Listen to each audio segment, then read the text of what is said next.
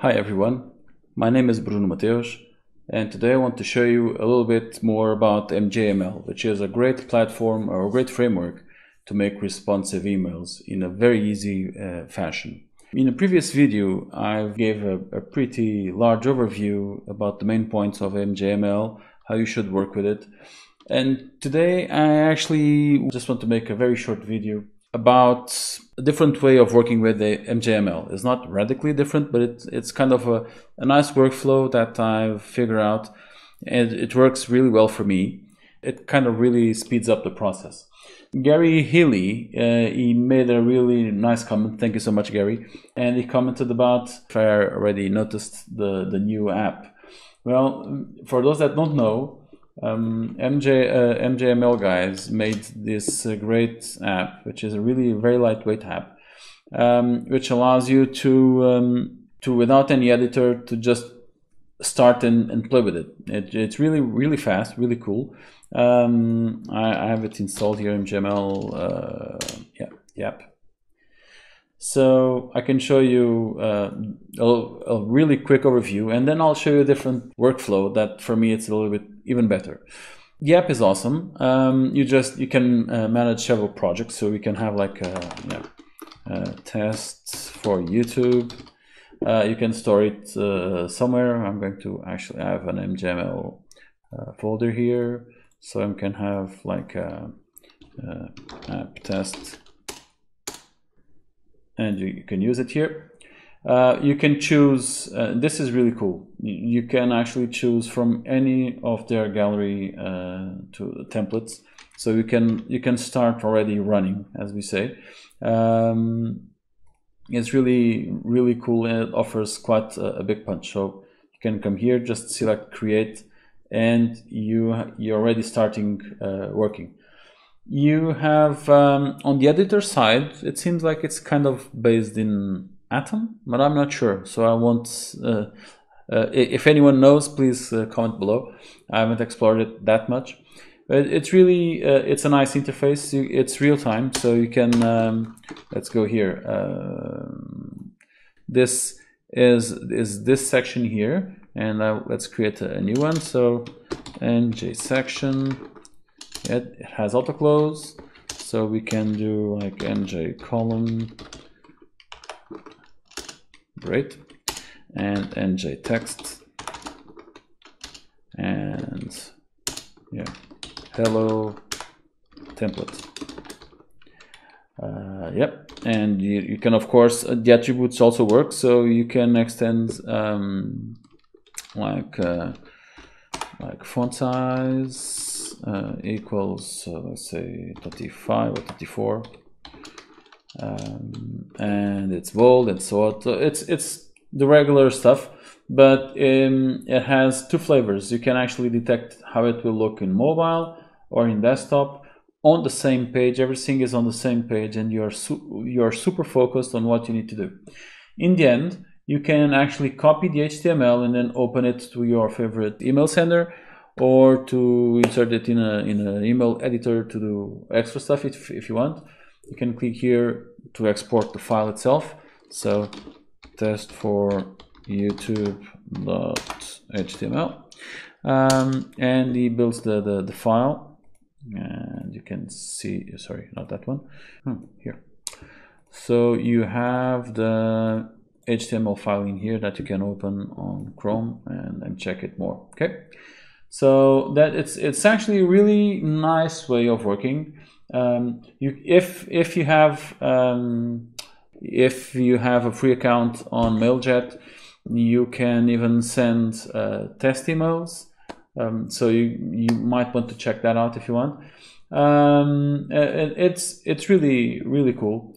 Uh, really very straightforward. Um, you can adjust here a couple of settings, but it it really I, I enjoyed it. It's really very pleasant to work with. So if you don't have uh, any other editors and if you're just starting out, I totally advise you to, to use the MJML app and you can download it from, I had the link there. So uh, you can download it from this uh, link. I'm going to leave it on the description so that it's easier.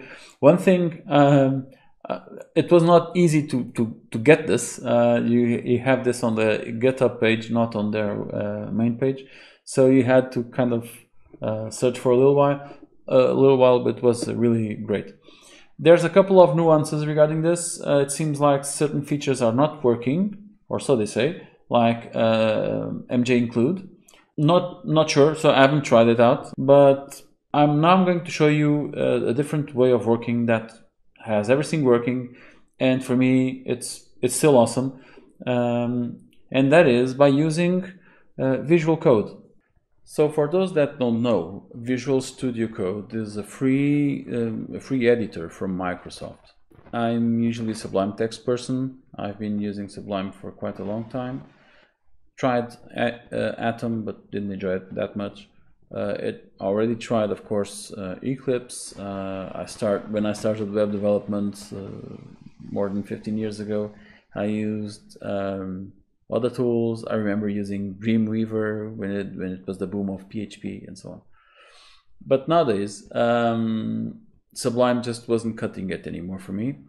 Uh, I do work in other projects. I also code. Uh, I also use, for instance, Angular 2 and they use TypeScript, for instance. Um, I also do small projects in C++ and so on. Uh, so I, because of TypeScript, I actually started to use Visual Code, and I have to say I'm really, really, really pleased with it.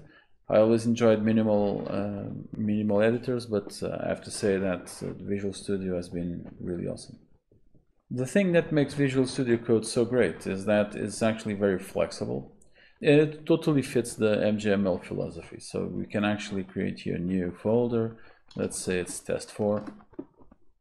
And inside this new folder, we're going to create a new file and we're going to call it index.mjml just, just to start with. You, you would require, you would want to have some um, syntax uh, highlighting. So you can actually go here to the extensions and you can search for MJML, more or less kind of like in the, the Sublime text packages. It's more or less the same thing. You just need to install it, to search for it and install it. You'll need to reload afterwards. Um, there's also a couple of other extensions that I personally enjoy using, uh, like project management, and because because I come from Sublime, I'm still very uh, used to their uh, shortcuts. Um, but basically, that's it and then we'll start coding. So we can do like mjml um, and then in here we can do mj uh, head yeah I won't do anything inside the head so I'll go here and say mj body. Okay. And inside the body I'll do um, an mj container. Inside the container you'll have an mj section Inside the section, I'm going to have uh, an MJ column. And inside the column, let's have uh, MJ text with the, with the hello world. Okay. Um, and if all goes well, now we should go to the command line and go to the folder and write mjml create the watcher. Well, with Visual Code, that step is actually not needed.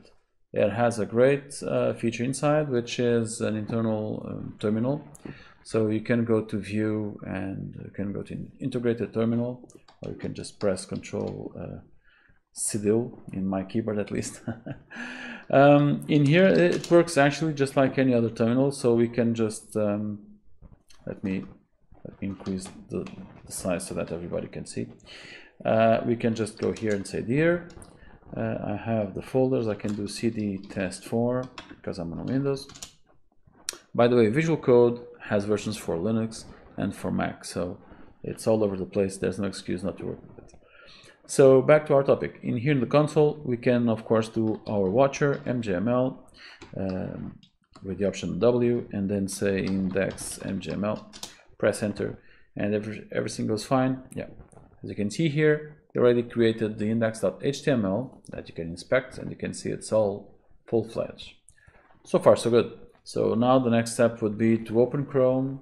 Uh, I have an instance of Chrome here. Yep. And then of course to um, yeah to open the file and to open the file on on, on the Chrome itself. We uh, we will be stuck with a problem uh, in, the end. So uh, let me copy here the path. So we go here and we can of course come here. Let me push this to the side so that everybody can see everything. Let's close here the, this. Yeah, good.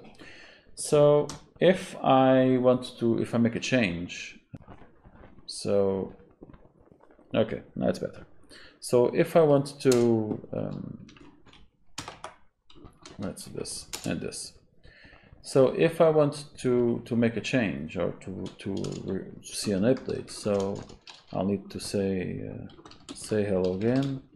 I'll need to say F5 because the, the updates are never showing here. So I'll need to say refresh uh, so that you can actually see the update. But there's a way to go around that also. a nice way uh, is that you can actually have more than one terminal here, which is awesome because you can now use something like um, simple HTTP server, which is an, um, a node extension or a node module that allows you to have your own local server and it will be directly directly attached to the file which is monitoring. So we can come here. I can go to cd test for oh, come on.